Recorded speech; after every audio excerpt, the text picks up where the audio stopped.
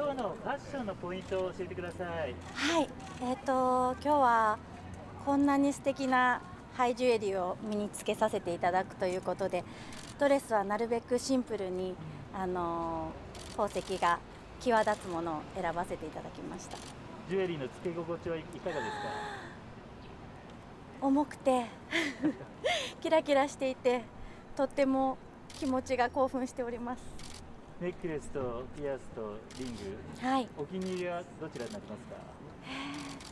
私実は鏡で全部見られていないんですけど でもあのこのブルーとグリーンとのコンビネーションがすごくもう1世紀以上カルティエさんで伝統的に定番で使われているカラーコンビネーションだって伺ってすごくその部分が気に入っています。はい、ありがとうござい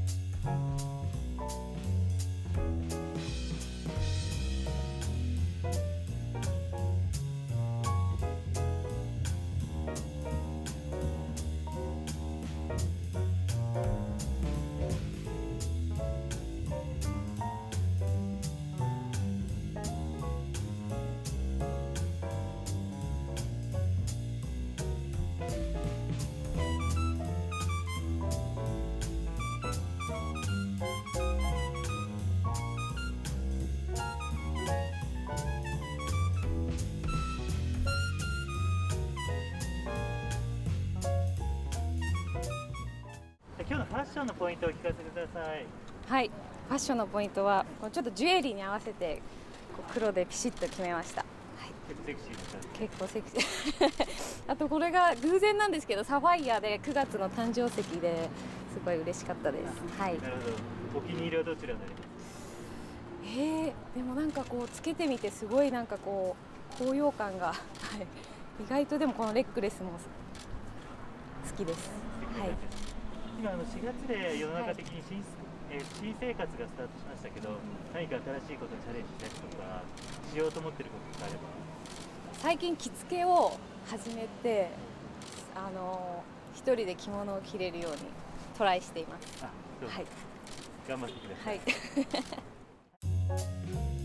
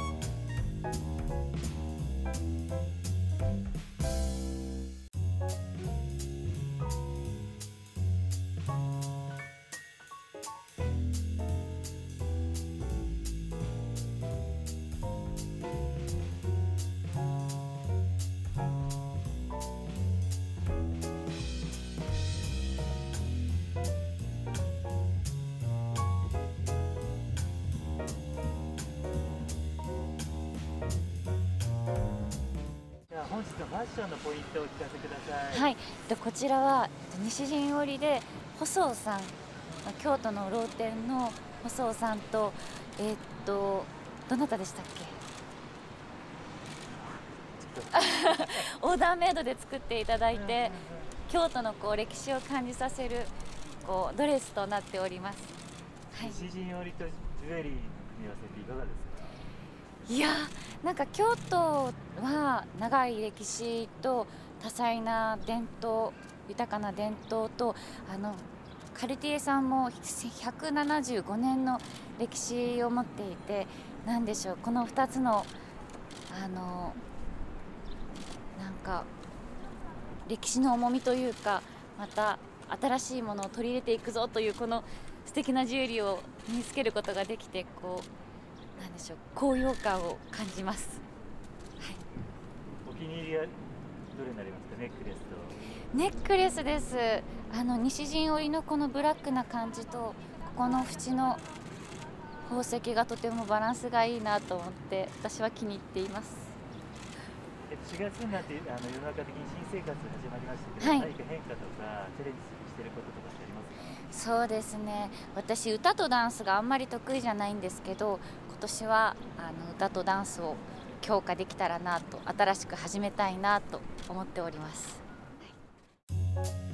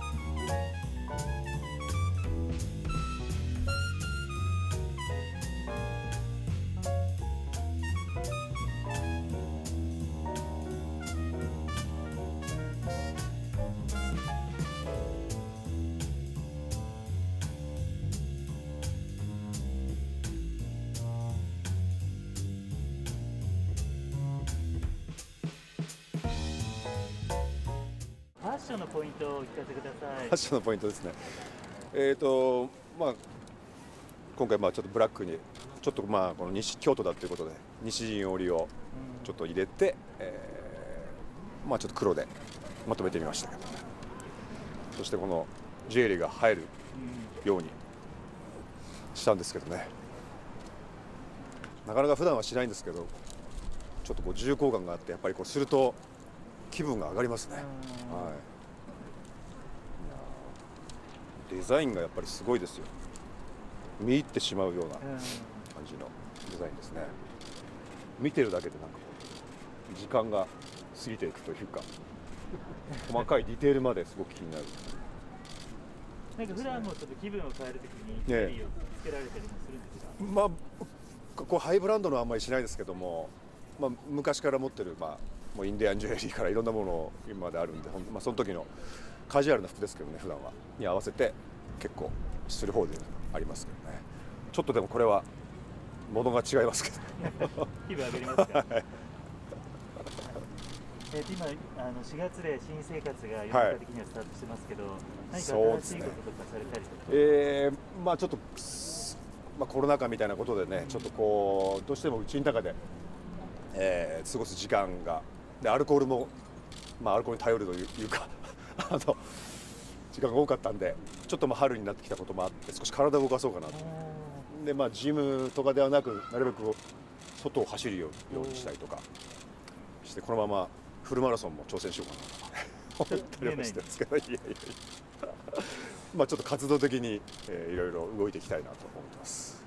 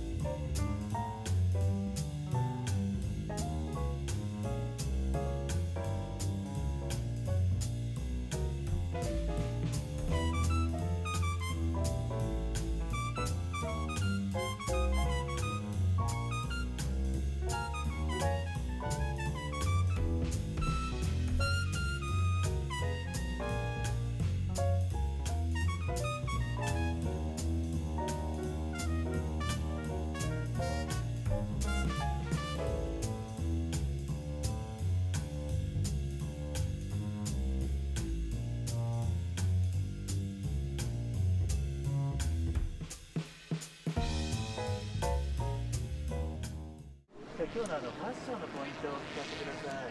ファッションのポイントは、まあ、でもこのブローチですかね、それでいて、あのこちらが西陣織のネクタイということで、京都とうまくマッチするようなコーディネートっていう感じですかね。カルティエのジュエリーの付け心地はいかがですか。付け心地はとてもいいです。そうですね。かっこいいです。今あの4月になって皆さん新生活にしてますけど何かチャレンジしていること、新しい生活になって、あんまりないですけどね、何してますかね。まあ、うん食生活には気をつけてます。はい。なるほど。はい。なんかこう春を感じることとかなんかされたり春を感じること、うんまあ、桜が咲いてちょっと散歩をしたりはしてますけど、はい、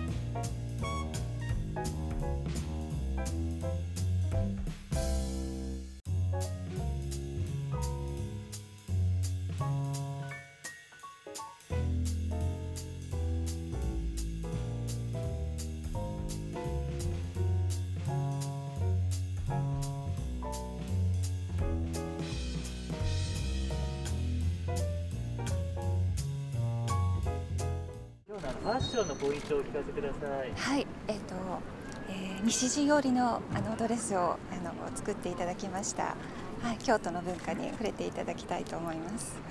あの西陣織とそのジュエリーの組み合わせっていうのはいかがですか？ああのとても和と洋の融合で、あの素晴らしいと思います。すごく緊張してるんですけども、あのこのファンテールに 勇気を力をもらってます。つけ心地はいかがですか？いやあのとってもあの、うん、あのす馴染んでとても柔らかくすごく立派で大きいものなんですけどもでもあのすごく体に馴染むような感じでつけやすいです。ピアス、ネックレスだとリングつけられてます。お気に入りはどうですか。ああやっぱりファンテールがあいあのカルティエのアイコンのファンテールがぱり可愛いですね。ありがとうございます。ちょっと話変わるんですけど、4月で新生活スタートしますけど、何か？チャレンジされてることとか？あそうですねあのまた何か一つこう和文化に触れる習い事をしてみようかなと思ってますあの以前あの書道をちょっとやってたんですけどもまた何か陶芸とか金継ぎとかなんかそういうものを始めてみようかなと思いますはい、ありがとうございました。ありがとうございますはい、ありがとうございます